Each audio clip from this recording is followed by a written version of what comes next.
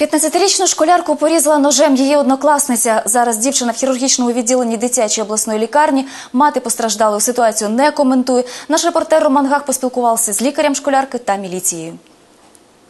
12.10.13 року достала нас біля 16 години дівчинка із зрізаною раною е, живота, плеча та стегна. Дівчинці була надана допомога, були признаки кровотечі із е, різаних ран. На стегні та на плечі вони біля 1 см, а в черевної порожнини була проникаючи в черевну порожнину. порожнину.